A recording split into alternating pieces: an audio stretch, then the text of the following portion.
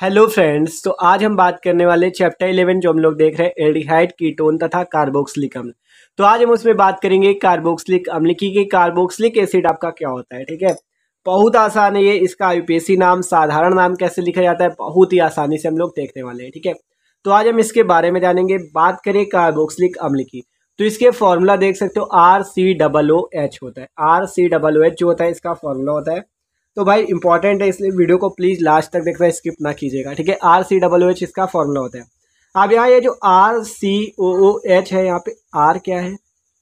Are आपका alkyl समूह है। आर क्या होता है यहाँ पे? एल्किल एल्किल मतलब जैसे आपका मेथिल हो गया एथिल हो गया प्रोपिल हो गया, ये सब क्या होते हैं? एल्किल होते हैं, ठीक है? ये आप पढ़ रखे होंगे हेलो एल्केन वाले पे भी या एल्केन पे भी आपने पढ़ा होगा, ठीक है? Methyl ethyl propyl butyl pentyl hexyl ठीक है? तो ये बात होती है। ये एल्किल होते हैं और सी डबल ओ एच आप मान लो इससे हम कोई ले रहे हैं, जैसे सी एस थ्री ले लें और सी एस थ्री यहाँ पे लगा दें।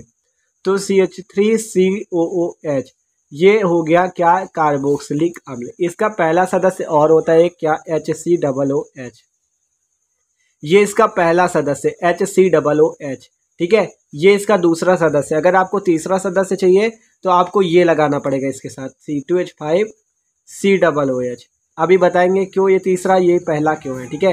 और अगर चौथा सदस्य चाहिए तो आप क्या लगा दोगे? C three H seven C double O H देखो, अब यहाँ पे होता क्या है? जिस, देखो, एक कार्बन यहाँ पे तो कैसा पहला कार्बोक्सिलिक अम्ल अगर यहाँ पे देख सकते हो, दो कार दो कार्बन तो दूसरा कार्बोक्सिलिक अम्ल और यहाँ गिनो, दो, एक, तीन कार्बन तो तीसरा कार्बोक्सिलिक अम्ल ठीक है? मतलब तीन, तीसरा कार्बोक्सिलिक अम्ल का यही सदस्य है। तो पहला सदस्य कौन सा होता है? H C double O H दूसरा सदस्य देख सकते हो C S three C double O H और ये आपका कैसा है? तीसरा सदस्य। अब बात करें इसके साधारण नाम पहले देख लेते हैं। इनको हम किस नाम से पुकारते हैं? फिर आयुपेसी नाम देखेंगे, ठीक है? तो इसका बात करें, क्या नाम होता है? इसका नाम होता है फार्मिक अम्ल। क्या नाम होता है इसका? फार्मिक अम्ल। इसका, ठीक है? इसका तो आपको याद ही करना पड़ेगा, क्योंकि साधारण नाम याद करना पड़ेगा। आयुपेसी तो निकालना सिखा देंगे, ठीक है?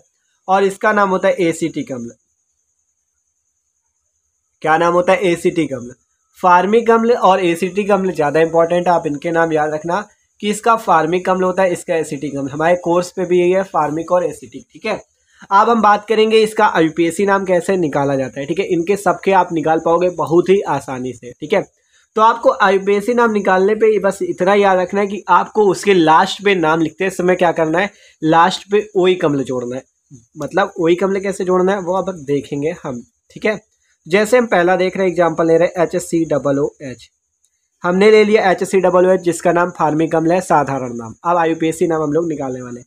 आपको करना क्या है सिंपली कार्बन की संख्या गिनो कितने कार्बन एक कार्बन तो एक कार्बन के लिए आपको पता होगा क्या लगता है मेथ क्या लगता है मेथ ठीक है, दो कार्बन के लिए क्या लगता है एथ लगता है। तीन कार्बन के लिए क्या लगता है प्रोप लगता है। ठीक है तो इतना तो आपको पता ही होगा, ठीक है?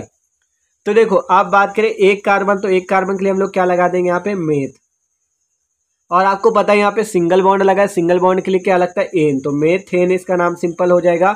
और लास्ट पे क्या लगाना है आपको? यही ओइक अम्ल। मेथेन प्लस ओइक अम्ल। क्या हो जाएगा? मेथेन प्लस ओइक अम्ल। ठीक है? मेथेन प्लस ओइक अम्ल।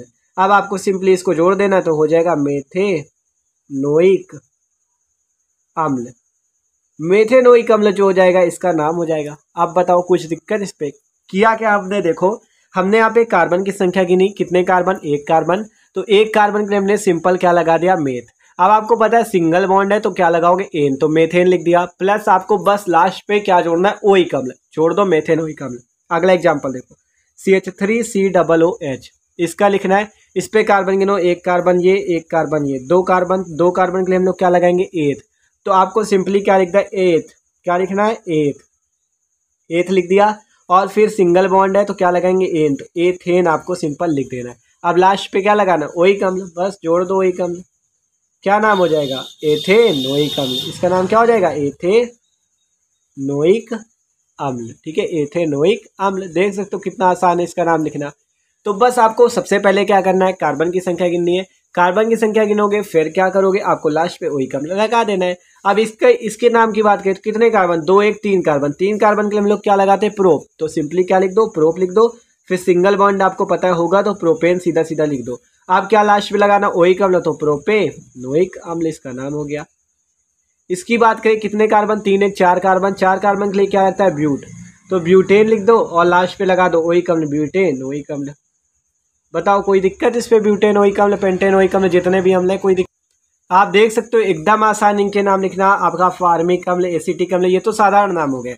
आईयूपीएससी निकालना कितना ज़्यादा ही आसान है, आपको केवल कार्बन की संख्या गिननी, कितने कार्बन, बस उतने में एल्केन लगा देना ब्यूटेन लिख देना, और लास्ट पे ओई कमले लगा दो, बस खत्म, हो गया कार्बोक्सिलिक अम्ल का आईयूपीएससी कुछ दिक्कत नहीं है इस पर ठीक है? तो ये बात होती कार्बोक्सिलिक अम्ल के आईयूपीएससी नेम की, कि कैसे लिखा जाता है इनका आईयूपीएससी नामकरण, ठीक है? तो भाई, ये बात थी आपके एडिहाइड की ठोन तथा कार्बोक्सिलिक अम्ल में। कार्बोक्सिलिक एसिड की अब अगले वीडियो में हम लोग देखेंगे फार्मिक अम्ल और एसिटिक अम्ल के बारे में। तो भाई वीडियो अच्छा लगा हो तो प्लीज़ वीडियो को लाइक भी कर दीजिएगा। Okay thanks for watching this video